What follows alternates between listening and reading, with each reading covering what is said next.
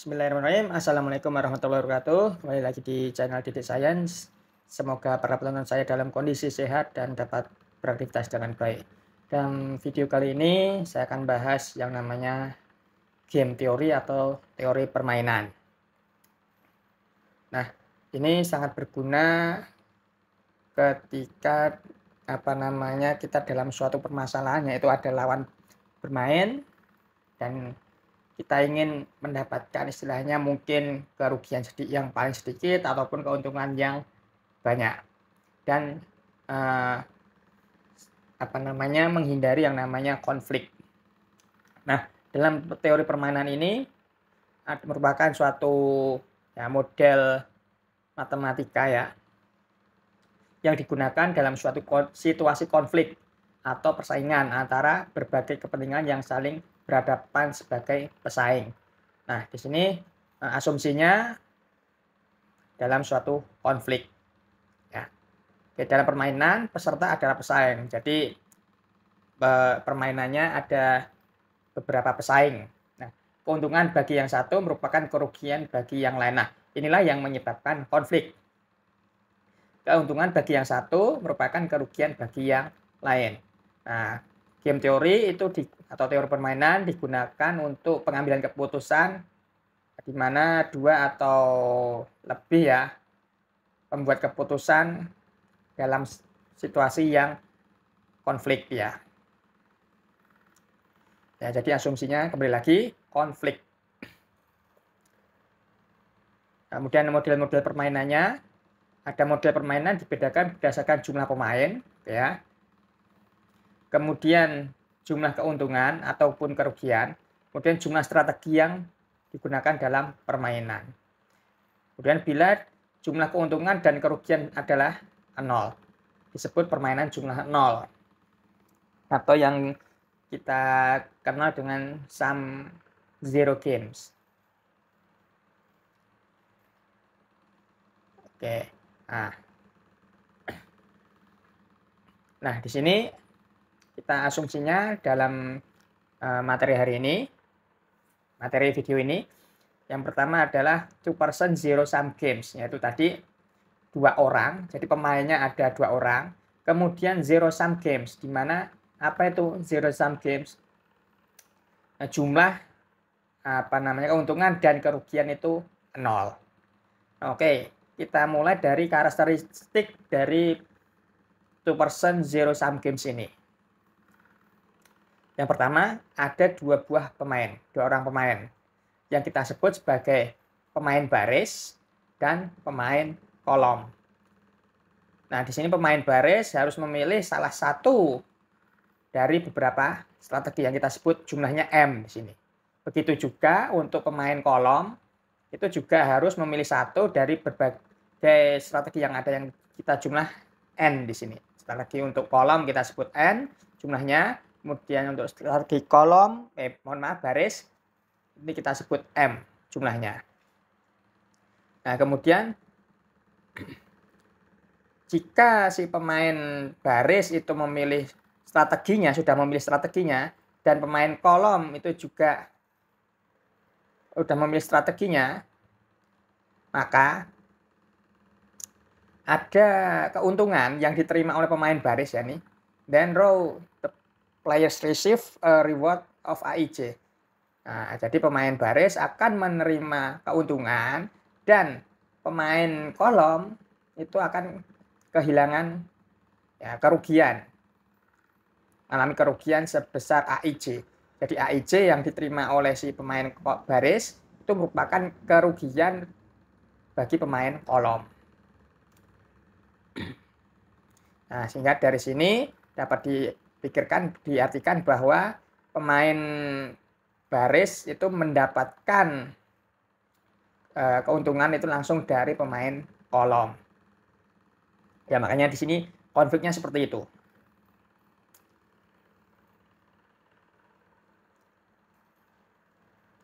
Nah, kemudian di sini dua orang permainan zero sum games mempunyai properti dari setiap pilihan strategi itu apa namanya jumlahannya baik keuntungan dan kerugiannya itu kalau dijumlah nol. Ya, maksudnya itu tadi ya zero sum games. Jadi eh, jumlah keuntungan dan kerugian ya kalau yang namanya keuntungan kan plus, kalau kerugian berarti minus. Kalau dijumlah imbang dia nol. Saling meniadakan. Di every dollar ya jadi istilahnya di sini uh, apa namanya keuntungannya yang diperoleh si pemain kolom eh pemain baris itu berasal dari sakunya si pemain kolom ya sehingga dua pemain ini saling berkonflik ya dan di sini tidak akan menimbulkan yang namanya kerjasama antara dua pemain tersebut. Ya kita contohkan seperti ini. Ya, di sini ada pemain baris ya, ada baris satu, baris dua, baris tiga. Maksudnya pemain bukan ininya row. Ini row ini menyatakan strategi. Begitu juga untuk kolom ini. Kolom satu, kolom dua, kolom tiga itu strateginya. Nah, jadi di sini ada dua, dua buah pemain, di mana pemainnya adalah row player ini. Ini adalah pemain, pemain baris ya. Ini kita sebut pemain baris. Ini nah pemain kolom.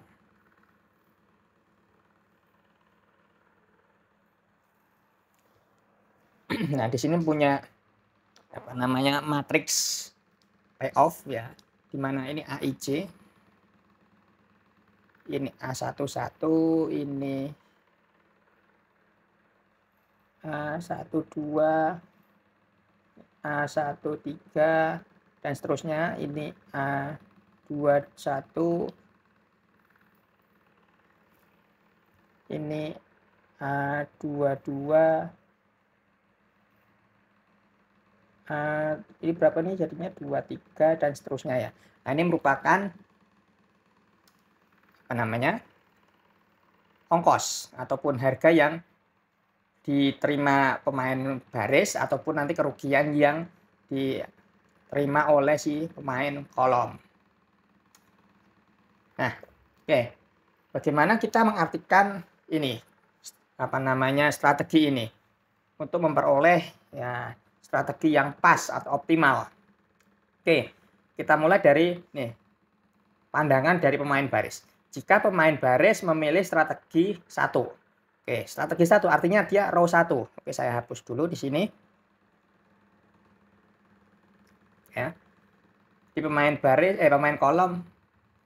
Oke, mohon maaf di sini. Jika pemain baris memilih strategi satu, berarti yang ini ya, pemain baris ada 4 4 10 itu keuntungan yang diterima ketika mungkin pemain kolom akan melaksanakan strategi satu, dia akan beroleh 4 istilahnya dolar gitulah jika pemain kolom itu menggunakan uh, strategi dua main barisnya akan menerima empat dan seterusnya di situ. Kita artikan seperti itu.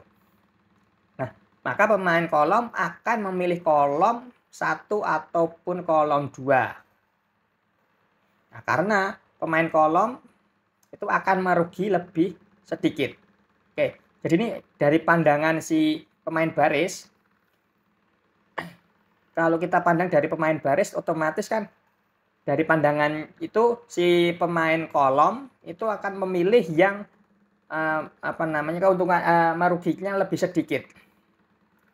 Oke, jadi di sini yang dipilih adalah 4. Nah, ini kita tulis di sini sebagai row minimum. Ya. Atau kita artikan di sini nilai minimum dari tiap baris. Ini pandangan dari pemain baris. Nah, jika pemain kolom sekarang jika dalam pandangan pemain kolom itu ketika memilih strategi sat, kolom satu, strategi satu, otomatis dari pandangan pemain kolom lawannya itu harus istilahnya mengambil keuntungan yang paling besar. Ya, berarti istilahnya di sini pemain baris akan memperoleh keuntungan yang besar. Pandangannya seperti itu. Jadi kita pandangannya dari lawannya. Nah, sehingga dari sini strategi untuk pemain kolom itu adalah nilai terbesar dari tiap kolom. Di sini terbesarnya ada 6, di sini terbesarnya ada 5, di sini terbesarnya adalah 10. Yaitu pandangan dari berbagai pandangannya, pemain baris ataupun pemain kolom.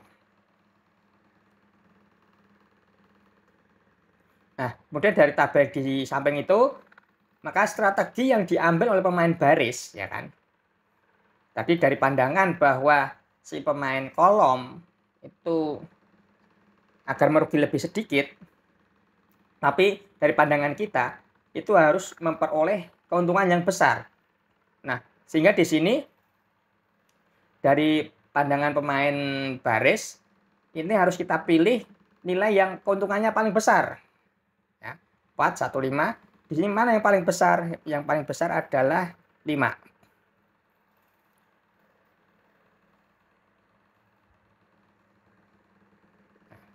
5 di situ. Atau kita sebutnya maksimin. Nah, sebaliknya ketika pemain kolom kan dia pandangannya rugi karena si pemain baris harus mempunyai keuntungan yang besar. Maka supaya kerugiannya minimum, ya berarti kita ambil dari kolom yang ini maksimum, kita ambil yang minimum. Jadi istilahnya di sini minimax. Nah, mana itu yang minimax? Di situ yang minimax adalah yang 5. Nah.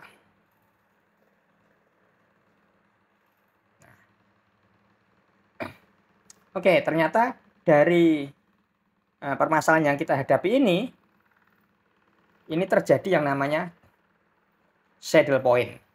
Apa itu saddle point? Ketika nilai maksimin itu sama dengan nilai minimax atau dalam istilah bahasa Inggrisnya ini ya max all row dari suatu row minimum ini sama dengan minimum dari semua kolom yang maksimum.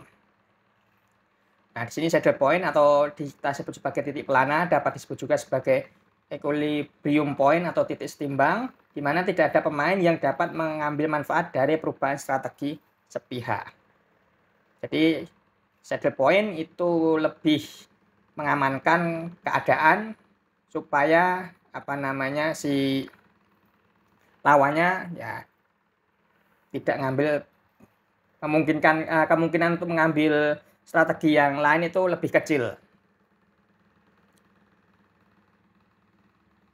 Nah, misalkan kalau tadi dia nggak ngambil set, posisi saddle point, jika pemain baris mengubah strategi dari baris tiga, jadi yang dipilih berarti kan pemain baris itu mengambil strategi tiga ya, karena posisi saddle pointnya 5. Nah, kemudian si pemain kolom itu juga posisi saddle point pas dia, posisi 5. Nah, di sini nih.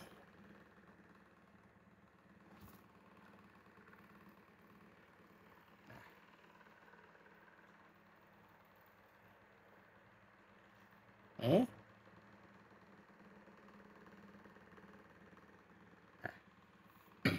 Maka Nah, misalkan kalau berubah,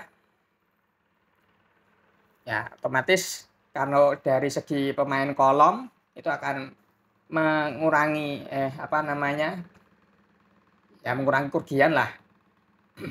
kalau enggak dari pemain baris dia akan meningkatkan keuntungannya. meningkatkan, menurunkan malahan. Karena dia kan tadi eh, apa namanya supaya keuntungannya maksimum ya di sini. Mohon maaf.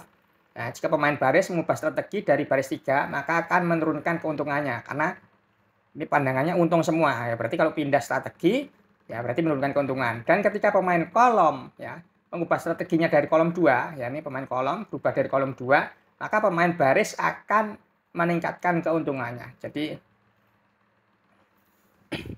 pandangan si pemain kolom akan meningkatkan keuntungan lawannya Nah, dengan demikian saddle point ini atau titik pelana ini stabil karena tidak ada pemain yang memiliki insentif untuk menjauh darinya.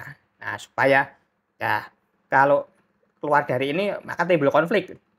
Tapi kalau mengambil strategi yang sesuai dengan saddle point, ya pas lah. Intinya ingin menghindari yang namanya konflik di sini.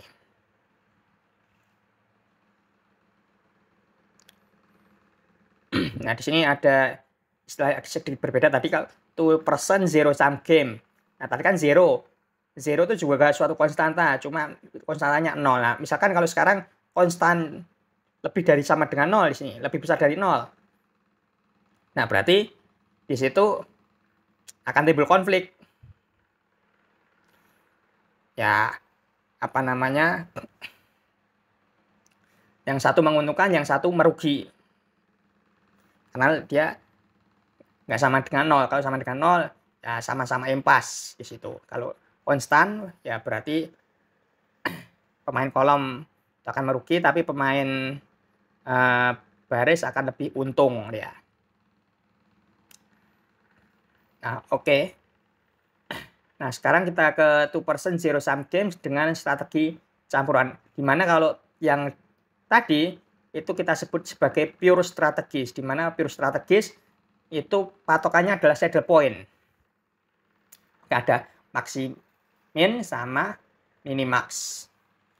Nah, oke, sekarang di sini ada sebuah permainan semacam kayak uh, pesuit ya atau home pimpah. Nah, di sini home pimpahnya cuma satu jari dan dua jari. Ketika menang dia mendapat satu, ketika kalah dia minus satu. Ya, dapat digambarkan seperti tabel seperti ini. Jadi ini pemain barisnya ketika dia ada satu jari atau mengeluarkan satu jari atau ganjil ya dia kalah ya seperti itulah ketika kita bermain.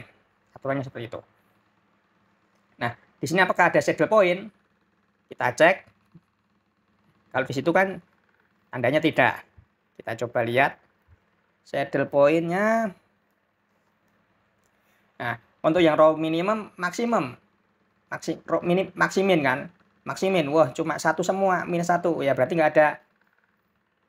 Nah, yang bagian min, mak, apa kolom ini, ini adalah minimax. Wah, ini minimaxnya nggak ada ini ya. Minimax, ini maksimin. Ternyata, ya di sini tidak sama nih. Minimaxnya adalah plus satu, maksiminnya minus 1 sehingga tidak terbentuk ini. Saddle point tidak ada. Nah karena tidak ada berarti kita harus cari metode yang lain tidak bisa menggunakan saddle point. Nah caranya seperti apa? Kita buat sebuah probabilitas di sini di mana probabilitasnya ada X1 dan X2 X1 adalah probabilitas ketika si pemain kolom eh pemain baris itu mengeluarkan satu jari dan X2 ketika pemain baris itu mengeluarkan dua jari. Jadi X itu bagian pemain kolom eh pemain kolom pemain baris ya. Jadi kalau kita tuliskan di sini ini X1 sini X2 nah, kemudian di sini ada Y1 ini Y2 Oke ya. Yang Y1, Y2 dan Y2 adalah untuk pemain kolomnya. Probabilitas ketika si pemain kolom mengeluarkan strategi pertama untuk Y1, untuk Y2 pemain probabilitas ketika pemain kolom itu mengeluarkan strategi 2. Oke, di mana kalau nah yang namanya probabilitas karena ini kita bagi-bagi strateginya Berarti di sini ada X1 plus X2 sama dengan 1 karena total probabilitas itu 1. Begitu juga untuk Y. Y1 dan Y2 adalah kita jumlahkan 1 juga. Ya, yang namanya nilai probabilitas kalian sudah tahu lah. Nilai probabilitas itu antara 0 sampai 1 ya. Jadi X itu antara 0 hingga 1. Kalau Y-nya juga sama. Nah,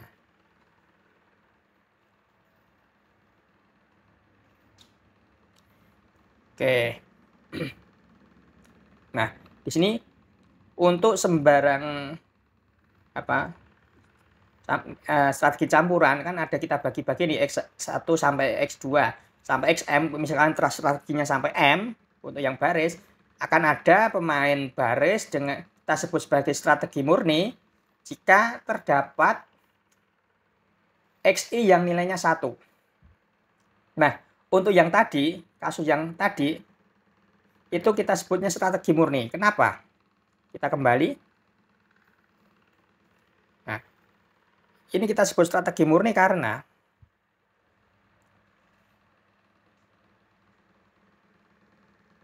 ini nilai probabilitasnya 001 ya sedangkan untuk pemain kolom itu 0 1 0 nah di sini ada Y2 ini Y1 Y3 ini ada X1 X2 X3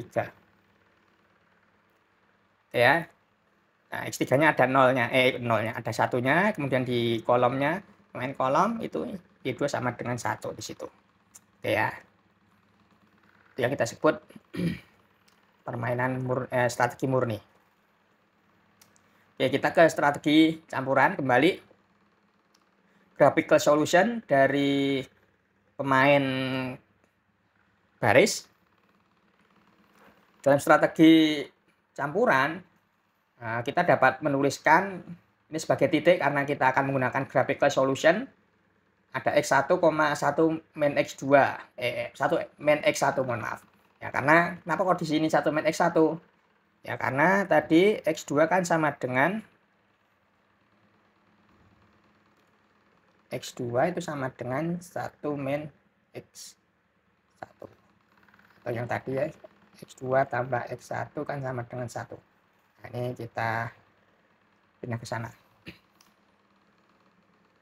Dan di sini kita harus mencari yang namanya X1 probabilitasnya. Nah, kita cari. Nah, kita hitung probabilitas untuk masing-masing keadaannya. If jika jadi kita terhadap baris dulu ya.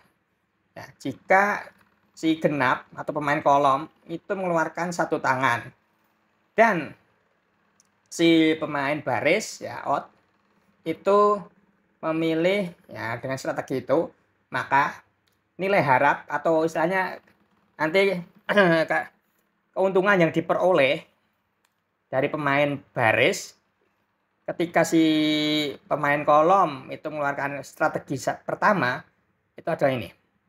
Ini caranya seperti apa? Tinggal kita kalikan. Di sini min satu dikalikan peluangnya. Kemudian yang di sini karena peluangnya tadi x2 atau probabilitasnya x2 kita tambah. Plus 1 kalikan nih 1 min X 1 sehingga kita jumlahkan itu jadi 1 min 2X1 untuk yang ini. Ya oke saya tandain.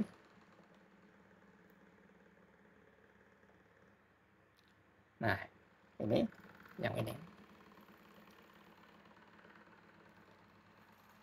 Nah, kemudian ketika si pemain kolom itu mengeluarkan strategi dua berarti yang sebelahnya nah jadi. Ini. Oke kita jumlahkan juga di situ ya.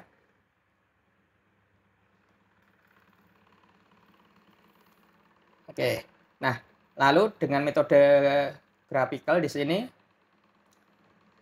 Nah, jika si apa namanya pemain kolom itu keluarkan tadi yang pertama strategi pertama. Seperti itu ini masih yang tadi. Nah kita peroleh dari grafik ternyata ada titik potong di situ. Titik potongnya B di mana nilai potongnya itu ada ketika X1 nya sama dengan setengah. Nah berarti ini ketemu X1 nya sama dengan setengah. Atau kita bisa gunakan substitusi ataupun eliminasi ketemu juga X1 sama dengan setengah. Nah, oke okay, sekarang kita masukkan di sini. X1 sama dengan setengah. Kita masukkan ke salah satu ya. Salah satu atas ataupun bawah, misalkan di sini saya masukkan yang bawah, kita peroleh sama dengan 0. Ternyata ketika kita cari nilai peluangnya, keuntungan maksimum kita itu adalah 0. Jadi 0 di sini adalah keuntungan maksimum atau di sini kita sebutnya expected reward.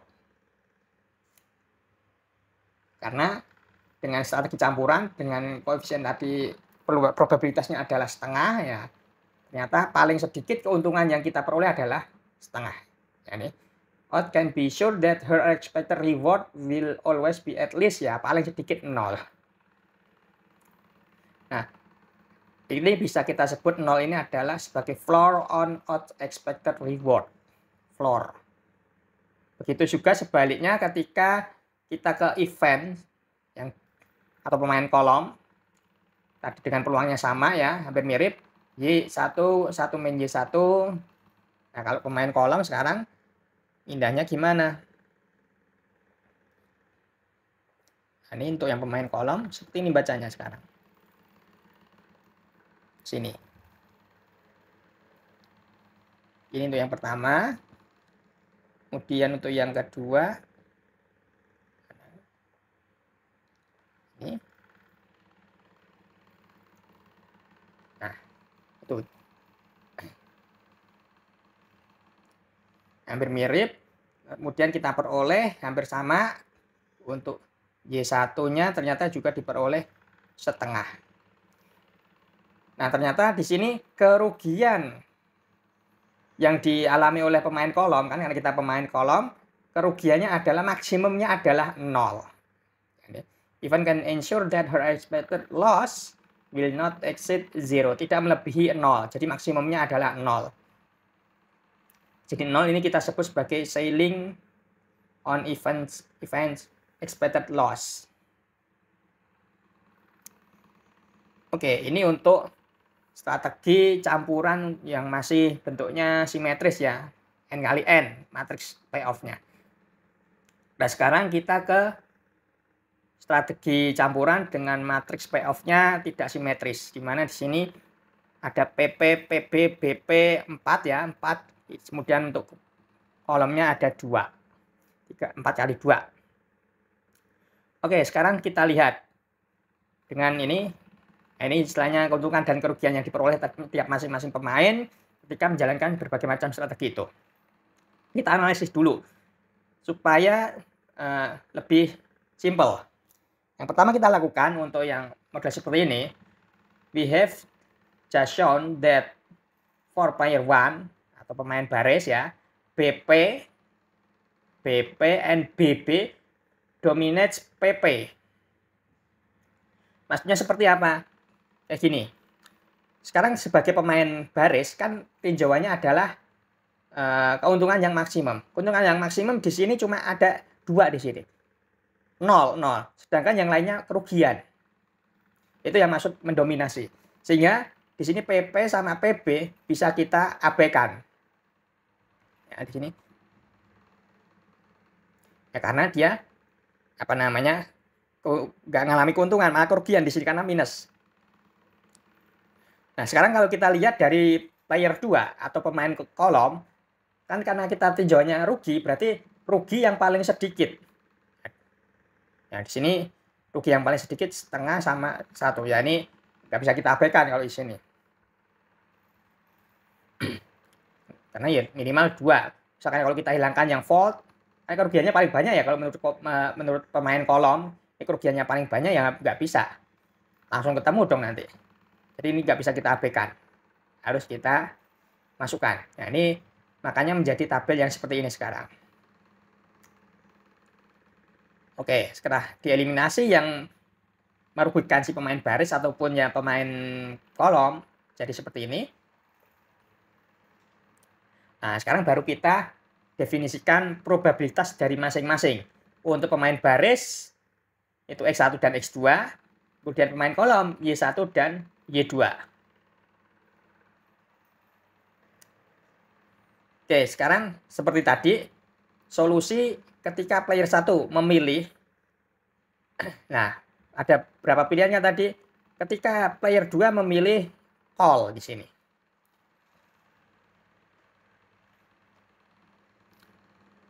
ya berarti ini ya setengah kali nol eh setengah tambah kali x1 ditambah nol kali satu per x1 kita sederhanakan di situ jadi seperti itu.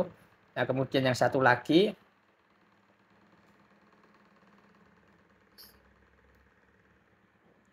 itu cara bacanya ya. Saya ulangi.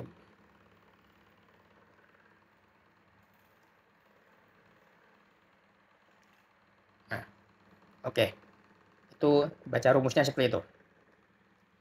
Di setengah kalikan X1 ditambah 0 kali 1 min X1. Sederhanakan jadi X1 per 2 untuk yang pilihan pertama dari pemain kolomnya seperti itu. Kemudian untuk pemain kolom itu milih yang kedua 0 kali X1 ditambah 1 kali 1 min X1 sama dengan seperti itu. Nah, kemudian kita hitung saya pakai eliminasi atau substitusi, masukkan saja, nggak usah pakai grafik, nggak masalah ya. Ketemu X1 sama dengan 2 per 3.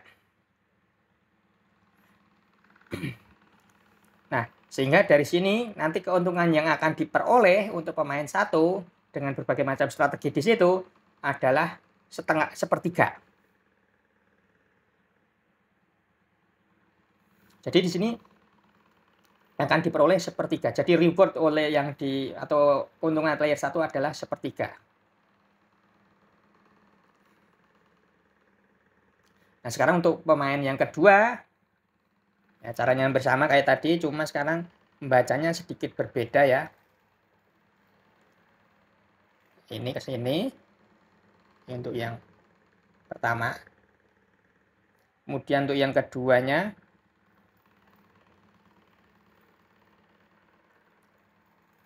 ini untuk yang ini kita masukkan ketemu Y satunya juga sama. 2 per 3 nah berarti dari sini keuntungan yang eh, kerugian yang dialami nanti oleh pemain 2 itu adalah sama sepertiga. Ya berarti dari sini bisa kita simpulkan bahwa eh, dengan berbagai macam strategi yang diperoleh dari strategi campuran ini baik yang pertama ataupun yang kedua akan memperoleh keuntungan untuk pemain barisnya adalah sepertiga. Untuk kerugian yang dialami oleh pemain kolom itu adalah sepertiga juga. Maksimum kalau yang keuntung apa kerugian maksimalnya sepertiga tapi kalau untuk keuntungan itu maksimal ya kalau yang itu tadi. Eh ini mohon maaf kalau yang main baris itu minimumnya segitu keuntungannya tapi kalau kerugian itu maksimalnya segitu. Jadi nggak rugi-rugi sekali dengan berbagai macam ya ini bisa bebas dipilih yang mana kalau dengan seperti ini cuma dengan probabilitas yang paling tinggi ya dipilihlah yang paling tinggi lah